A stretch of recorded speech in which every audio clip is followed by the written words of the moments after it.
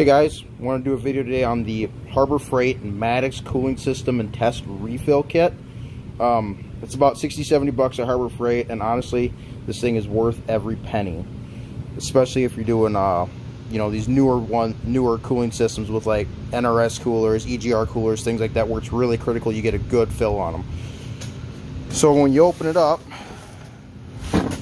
you have your actual cooling system filler, which works on using shop air to create a venturi effect and puts vacuum into the cooling system.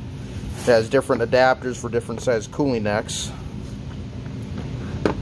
And then kind of a universal one here for, you know, the really small stuff like some of your imports.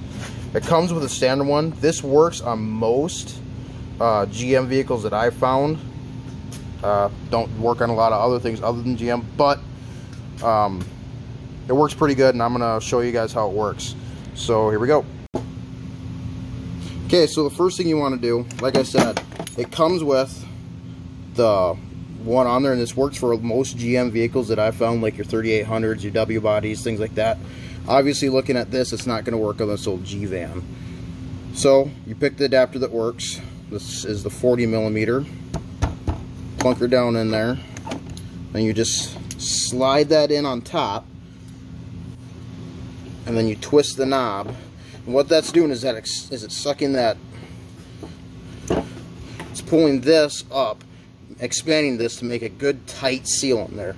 Now it doesn't always work the way you want it to, and sometimes you got to hold it in place until you get some vacuum on it. Just crank that guy tight there. Okay.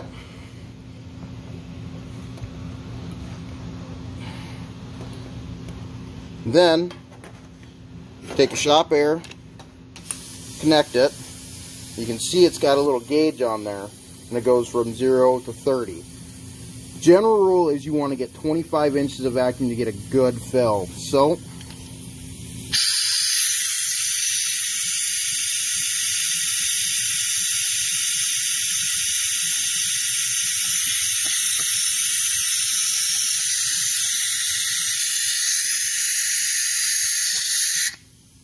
So I was an idiot and I didn't have my filled suction hose closed. That's why I wasn't pulling vacuum.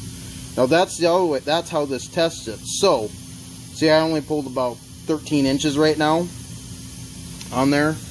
But you can see that it's holding nice and steady, it's not moving. Now, if you just, like in this case, I put a coolant hose on, or say you did put a thermostat in, or a water pump or something like that, and you nick the sealer, didn't get the gasket quite in right, when you're doing this, you will not hold vacuum. It might suck it up, but then it'll just slowly bleed off. So that's how this tests it. Now, obviously, pressure, which is what the cooling system runs on, is different than vacuum. So, you know, if you already have a leak, it won't exactly tell you where that is. But after reassembly, this is a great way to tell if you have a leak. So we're just going to run her up.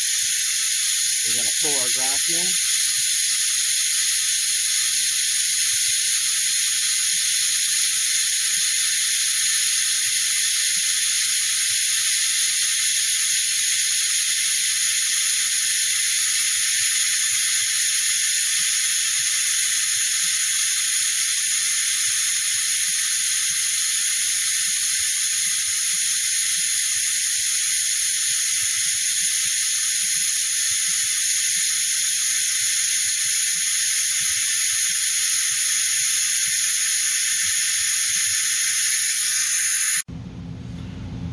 So we got our 25 inches of vacuum. We've been hold, we've had the air off for a little bit now. It's been holding 25 so we know we don't have a leak, we don't have a cut seal, anything like that. So the next step is to fill it.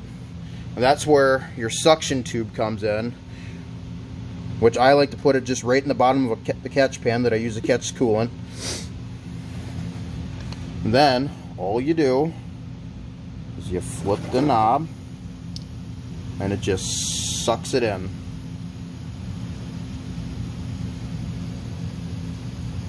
Too easy. Now the great way to do great thing about this is by the time you're you run out of vacuum, you get down to you know a couple inches of vacuum yet, the cooling system is basically full. And if you run out of coolant in your pan, well, you probably lost some of your low anyways. So just, if you have something extra, just dump it in the pan, let it catch up. And that, or, you know, when you're done, top it off. So yeah, that's how it works. And uh, like I said, you know, sometimes bleeding these things could be a real bear. And uh, this thing makes it absolutely worth it. So give one, get one, get one, give it a try, and see what you think. Thanks, guys.